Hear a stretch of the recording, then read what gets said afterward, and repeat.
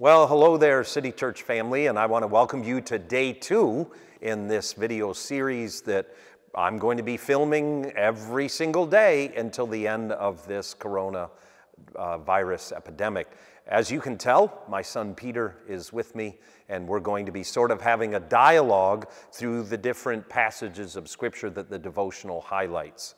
So, the text that you've already read today is the text that kind of deals with two things. It deals with the end of Jesus' trial, and then it picks up with Peter denying Jesus three times. And so, in the midst of that, I trust that you've already read it. And then Peter's going to kind of give us the bigger arc of Scripture and where we're at at this moment. Yeah, I think it can be important as we journey through Scripture chronologically. A lot of times we don't read a whole book all the way through. But if you're following this reading plan, you're following the story of Jesus um, episode by episode, all the way through to his resurrection. And so I think as we think about interpreting this story and the importance that this story has for us, it's really important to remember where it comes in the Bible. Uh, so, biblical scholars talk about six acts of Scripture. And this is the whole of the Bible split up into six major parts. So, part one is creation, and then fall, and then Israel, Jesus, the church, and the last bit, which some people in academic terms call the eschaton, which is the Greek word for the end. But it's the moment at which God brings together uh, the new heavens and the new earth, when the new Jerusalem comes out of the sky. It's that final moment of hope. Um, in creation, we learn that God loves his creation and that God has made creation for a purpose. And in the story of the fall, we learn that creation has somehow managed to turn away from God and to tell God no and to deny the purposes God's made for it. In the story of Israel, we see God's, the beginning of God's story of trying to call creation back to himself. And in the story of Jesus, we have the climactic moment in which God finally, by coming to us in the form of a human, finishes the work of salvation that we require. In the story of the church, we have the outworking of humans to spread that redemption to the world. And in the final story, Acts 6, redemption complete, sometimes it's called, or the eschaton, we have this moment at which all of God's struggling is over and it's finally accomplished. Everything in the world is set to right. And so the stories that we're reading for these next two weeks come from a really pivotal moment in that massive six acts of Scripture. It's a dark but a key moment, and that's the crucifixion, the trial and crucifixion of Jesus. This is the moment where the God who's been trying to redeem the world gives his life in order to try and save the world.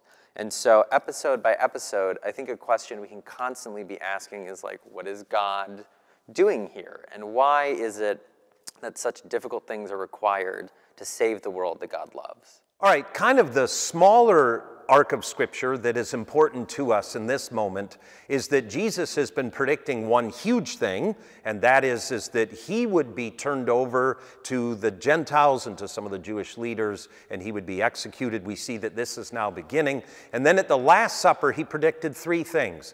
One of them is that Judas would leave him. One of them, other things, was that Peter would betray him. And then the final thing was that all the disciples would exit and abandon him. So, kind of an increasing measure, he would be betrayed by the people that are closest to him. So, what we're going to focus on now is we're going to focus on the denial of Peter and him kind of being in front of a fire barrel. Someone confronts him about who Jesus is, and he denies him. And it's important to realize that the story before, Jesus is asked who he is in front of the Sanhedrin, and he is faithful to state who he is and to hold course with that, where now Peter denies that profession of faith, and he's now exiting Jesus. Yeah, so um, if you look at the big sweep of this chapter, there's one commentator on this uh, story who talks about Jesus is, all, all of this story, it looks like Jesus is on trial. But really, everybody who's trying Jesus are actually the ones whose character is being revealed. So he says that Jesus' arrest in chapter 26, verse 47, that's the trial of Rome. And then we have this trial before the Sanhedrin, and that's really the trial of the religious leaders. And now we've got this moment where Peter is sort of in his own weird way, not literally, but maybe metaphorically on trial. Um, so while Jesus is before the Sanhedrin, Peter is outside in a courtyard warming his hands. And um, there's this little historical fact that I think helps illustrate the drama of what's going on here. Uh, in, in ancient Jewish law or in Jewish law of this period, it's illegal um, to condemn somebody to death at night. You need a second gathering the next day. And that's precisely what has not happened in Jesus' trial. But there's also a belief, um, or this thought in Talmudic literature at this period, that someone can still come to court to defend somebody before the, the next morning of their trial. So court is open through the night. And the, the next day starts when the rooster crows. And so what we have here is Peter effectively debating whether he should go into the courtroom, because he's out in the courtyard, whether he should go into the courtroom and defend Jesus. And he takes so long denying Jesus in the courtyard that that last moment when he could go in and help him, which is when the rooster crows, is when he goes to weep. And so what we see is actually one of Jesus' closest disciples leaves him at the last moment. And I think on this side of the cross, um, that's about as tragic as it gets. The resurrection will have things to say about this. Absolutely. But right now, what we have is Jesus on trial, falsely condemned, and then we even find out that his disciples did not have the faithfulness or the commitment or the faith or the courage required to actually follow him. Everything is falling apart. And so that kind of sets the final stage for this devotional. But I think one of the ways to sort of put feet to our faith is ask ourselves this question. These same hard questions are now being asked today Who is Jesus, and am I willing to follow him?